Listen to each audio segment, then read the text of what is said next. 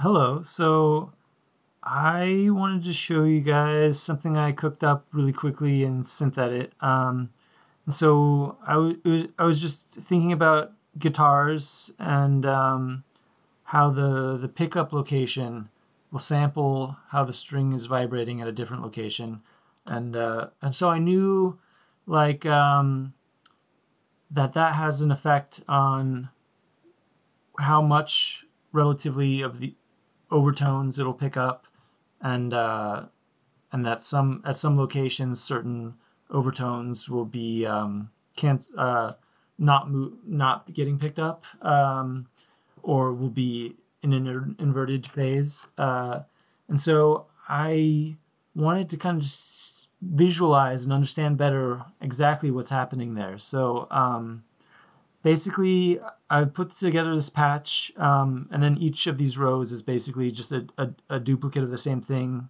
except for I'm just feeding it in a different harmonic. Uh, which you can see here is just I'm just feeding in these numbers. Um, so this way SynthEdit works. I can't just do like a for loop and uh, loop to infinity um, or the audible range. Uh, so I'd have to connect them each individually. So I went up to eight um, and so you can see here, this, this is a kind of a good sort of visualization of what a guitar string does. It like, it flops up, and then it flops down, and then it flops up, and then it flops down. And so that gives you your fundamental frequency. Uh, so like this, this side would be whatever fret you're playing or the nut, and this side would be the bridge. Um, that same string will also vibrate like this. It'll flop up and down uh, and also like this. Uh, it'll have like three, and then four, and then five, and then six.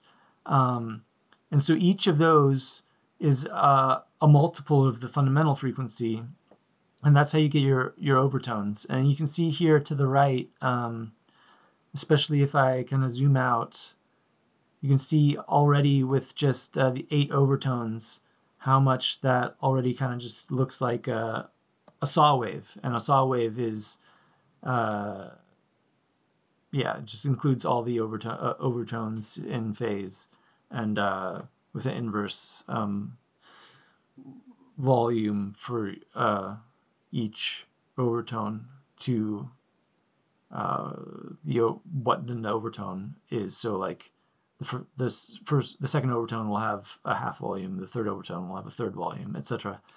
Um, and so what I've done with this patch is uh, so all these oscillators are, are, are, are, syncing to this master pulse over here. Um, and then I've got this offset pulse, which is this yellow line you can see in each box. And uh, as I move this like simulated pickup location, you can see where, where the yellow line crosses the positive. Um, I'm triggering a, a sample and hold module. And so I'm sampling the overtone at that location. Um, and you can so you can see here at like a bridge, at a bridge position, you know, you're getting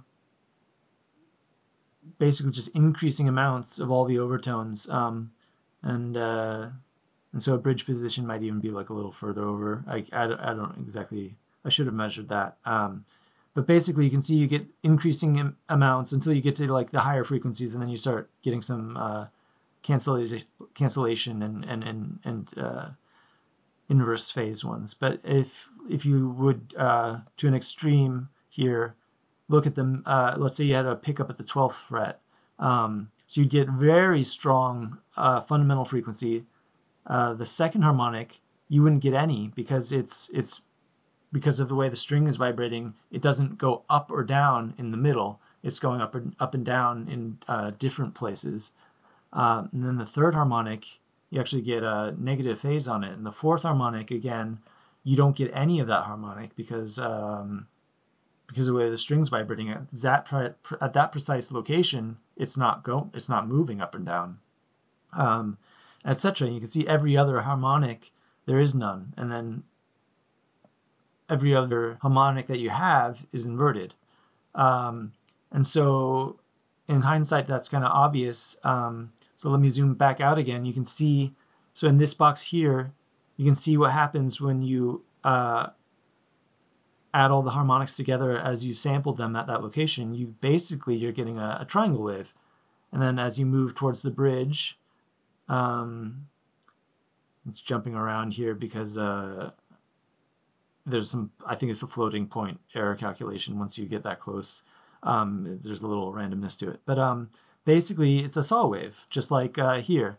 Uh, and so obviously on a gu guitar pickup, there's other factors that influence the sound, uh, just the kind of guitar strings and um, how hot wound the pickup is. Uh, you then you've got like uh, capacitance and resistance and uh, and things in the circuit that will affect um, like a resonant frequency and, and a cutoff, like a, a, a, a, basically there's a low pass filter. So um, so you'll you'll have a resonant frequency in the in the in the mids or the highs, and then you won't get anything.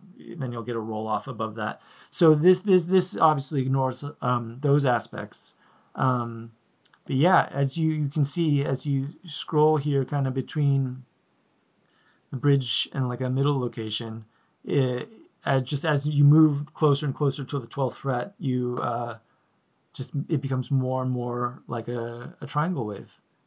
And then towards the bridge position, you get uh, all, all, all of the available harmonics. Um, so the way I built this, basically for each overtone, I'm uh, I'm converting uh, from volts uh, because this is acting like a synthesizer. It uses volts, so I just convert from volts to hertz, and then I can multiply it by the number, the uh, harmonic number. So for the second harmonic, I, I, multiply by two, and I convert it back to volts um, and use that to set the uh, sine wave oscillator. And then I just set the level by dividing by the overtone number.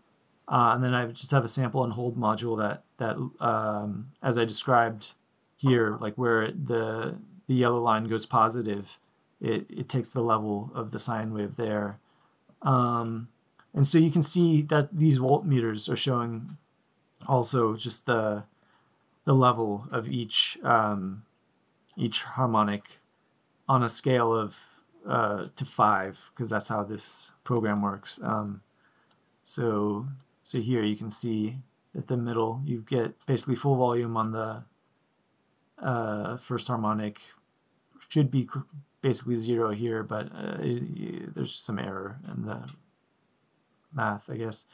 Um, and here you have a negative, here it should be closer to zero, and then here you have positive again. Uh, but yeah, so that's how I built this, and I think it shows um, shows this idea pretty well. And I think I, you know, I learned a lot just by looking at this, so I wanted to share it.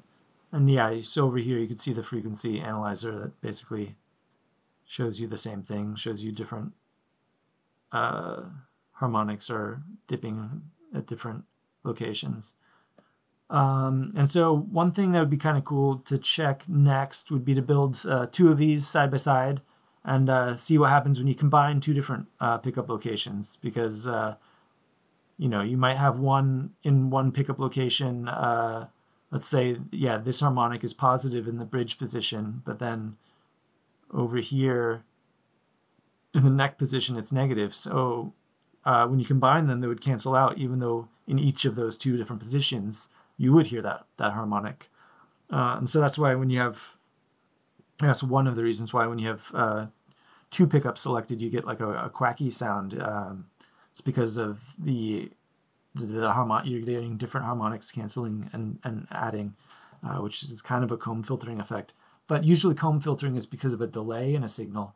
Uh, so this is a different thing. This is sampling, um, I guess sampling or combining two different uh, sine waves, not sine waves, two different sound waves because of their sampling the same signal at a different position on the string. So yeah, that that that that, that was kind of like the thing that I was like having trouble visualizing like what what is the difference between sampling a string that's uh, a sound that's delayed and combining it versus sampling the same sound but at two different positions on a string um, the way a pickup does. And so yeah i learned a lot. Uh, i thought this was interesting enough that i would just share it. Hey so i was just kind of thinking about how you'd apply like this kind of insight um, and so like let's say you have um, your neck pickup selected right? And uh, so if you think about it, go from here to here, and then from here to here. So this is around, you know, just right above the 12th fret. Your your direct the pickup's going to be directly in the middle, and so you're going to be getting the that triangle wave um, effect. And a triangle wave is basically like a square wave with a um, fairly aggressive uh, low pass filter on it. Uh, so you're just getting the odd harmonics uh, instead of all the harmonics. Um, so if you, you know, whatever, whatever riff you want to play,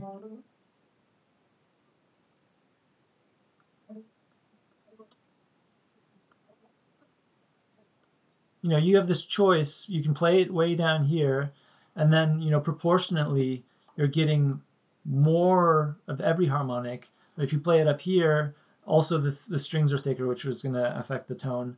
Um, but you're gonna you're you're choosing which harmonics you're gonna get. Um, and so especially if you're playing with distortion, like you you know if you want more of a synthesizery sound, you're gonna be playing high. You can play higher up, you get more of like a, a square wavy, uh, triangle wavy sound. And then you play down here, you get more like a, you know maybe it's better for clean sounds because uh, you're gonna be getting actually more harmonics over here uh, with the same position selected. Uh, so yeah, uh, I don't know. That's that's that's something that occurred to me. That's that's kind of how you might uh, think about why it sounds different, besides just the the thickness of the strings and stuff, um, and how you might use that. Take care. Bye.